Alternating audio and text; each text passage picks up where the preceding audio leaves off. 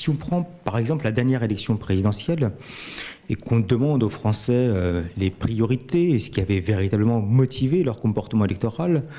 euh, introduire le terme écologie ou le terme environnement euh, nous oblige, nous sondeurs, à nous pencher dans les tréfonds euh, de la hiérarchisation des priorités pour voir en 17e position la préoccupation en matière euh, d'écologie et d'environnement. Alors, dans ce contexte-là, est-ce qu'on peut considérer qu'il y a ou pas des raisons d'avoir aujourd'hui une forme d'optimisme à l'égard du débat sur l'économie circulaire? La réponse est oui, en dépit de ce premier regard statique, et ce pour plusieurs raisons. Le premier aspect, c'est que quand bien même aujourd'hui, si on prenait 100 Français ou 1000 Français au hasard et qu'on les interrogerait sur cette notion même euh, euh, d'économie circulaire, peu spontanément pourraient être en capacité à pouvoir développer et exprimer ce à quoi ça leur renvoie.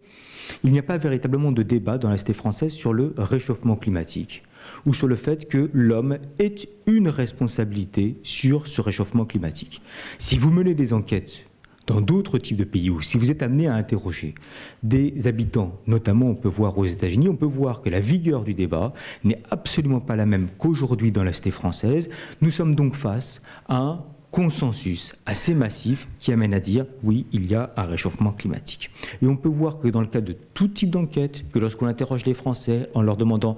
leurs préoccupations à l'égard du quotidien, la manière dont ils peuvent euh, se projeter à l'égard de l'avenir, ils vont déclarer que la pollution aujourd'hui est un véritable problème, qu'il faut véritablement agir à l'égard de la pollution d'ailleurs, quel que soit son sexe, quel que soit son âge, quel que soit son niveau social, c'est-à-dire que ce n'est pas uniquement réservé aux personnes qui sont issues des catégories supérieures, mais également des personnes qui sont des catégories populaires, et l'idée de se dire que si jamais on ne fait rien, nous allons avoir à terme des conséquences assez nettes entre la pollution d'un côté et la santé de nos enfants. Donc on est face à des Français qui disent oui, il faut agir, oui, il faut mettre en place un certain nombre de euh, politiques publiques. Qu'en est-il des acteurs économiques? Alors, si nous n'avons pas travaillé toujours sur ce point-là, au cours de la période récente, nous avons été amenés à interroger pour European Climate Foundation deux types de populations, à savoir les dirigeants d'entreprises français et des dirigeants d'entreprises allemands autour d'une question simple, qui était, selon vous, est-il urgent ou pas de mettre en place un processus de transition énergétique dans votre pays? Dirigeants d'entreprises français comme allemands répondaient favorablement à plus de 80%.